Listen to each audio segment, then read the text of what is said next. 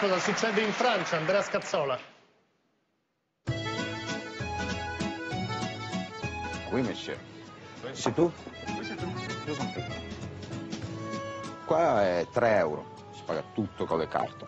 Contante, insomma, è quasi sparito. Non c'è, non c'è l'uso del contante, la moneta classica è stata praticamente bandita. Niente contante e tutto sotto controllo. Qualsiasi cosa si batta sulla cassa va direttamente al Resampo, all'ufficio delle imposte. Evadere non è facile. Difficile evadere qui in Francia e le tasse non sono basse, soprattutto quelle sulla casa. C'è quella per l'acquisto, quasi il 6% sul prezzo reale di mercato. La tassa sul, sul prezzo d'acquisto è veramente, veramente alta. C'è la tax foncière, una specie di IMU, ma si paga anche sulla prima casa. E la tax foncière di quest'anno, 1700 euro. Più la tax d'habitation che paga chi nella casa ci vive. 1700 più 1100. Arriviamo su 2,8. Comincia a essere una cifra. Sì, beh, vabbè, i servizi sono all'altezza anche delle tasse che paghiamo. Sì, scuola gratis, sanità, tanti aiuti alle famiglie e qui a Parigi si lavano anche i vetri delle fermate dell'autobus. Ma se di tasse ne hai pagate troppe, te le restituiscono sul conto corrente. 1800 euro,